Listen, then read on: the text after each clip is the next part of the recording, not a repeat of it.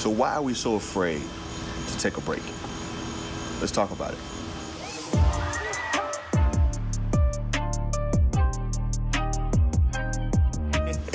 What's going on? This is Legin, and welcome to a Fear Not Minute. Quick thought to inspire you to trust God and fear not. I'm right here in Nashville, Tennessee, on a little vacation with my family, and reflecting on why is it so hard for us to take a break?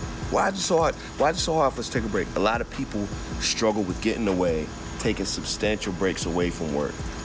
Why is that so difficult for us? I think, man, for people that are highly productive, there's a fear of missing out. There's a fear of what am I supposed to be doing? Uh, if I step away from my work, then I'm not going to continue to meet these goals I have. And some of that's healthy. I know for me, I've been seeing my counselor, and for me, it comes from a desire to prove and to earn approval and a fear of rejection. If I don't perform a certain way, I won't be good enough. Uh, people won't receive me. There's all those type of things involved in it.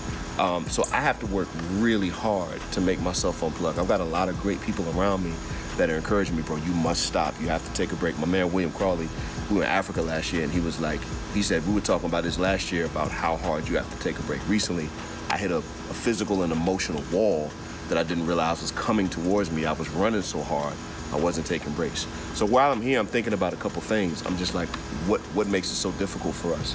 Um, and I think one of the bigger things is that, uh, regardless of the difficulty of the practicality of getting away from work, or the desire to earn, or the fear of rejection, or whatever it could be, uh, there's a couple of things we really have to look at. One, we weren't made to constantly produce. Uh, we're called human beings, not human doings.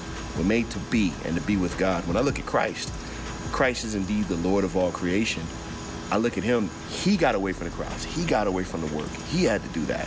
When he was in his human form and in his, in his humanity, he got away, right? That's a beautiful thing to realize that God continues to still Sabbath just in Genesis.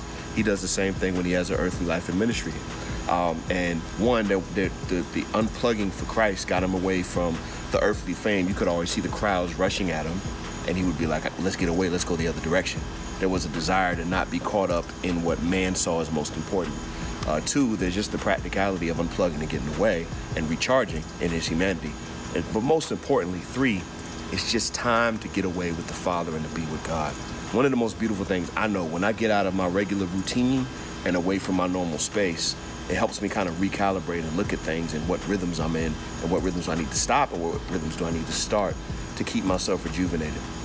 I know I have a tendency to feel like I got to prove and desire something, uh, prove myself and work hard and do certain things. My friend Pastor Jamie Stewart told me something a long time ago that stuck with me. Shout out Jamie. Jamie said, um, "It's very arrogant of you, me. It's very arrogant of you to think that you can do in seven days what God told you He would do in six. What's that mean? God gives a biblical command to Sabbath, to rest, to take a day, to not keep working, you know, all this no sleep, no days off. None of that's biblical, right? Uh, it's very arrogant to think that I can get more done by working harder than God told me He can get done with me rested. So it's very important to take a break. So whatever your fear, your reason is for not wanting to unplug and take away, it's not good enough for the reason God gives us to take a break. And you gotta learn to unplug. I came to my friend's house here because it's just a safe space for me to chill and be and not have to perform or do anything and find that space for you. Wherever that space is to relax, to unplug, to get away. Whatever that place is, may not even be a physical location. It could just be a decision that you have to make. Unplug and get away. Your work's not going to fall apart. The world isn't going to collapse on your return.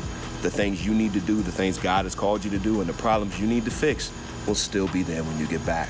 But unplug so you can fulfill when you can do it from a so you can tackle all those things from a full tank instead of an empty tank. Be sure to take God's command to rest very seriously. He knows about you better than you do. You better not do, right? So, and you don't have anything to prove. You don't have anything to prove to anybody. Be faithful, but you don't have anything to prove to mankind. Just do your best. Trust God. Fear not. Hope that makes sense for you today.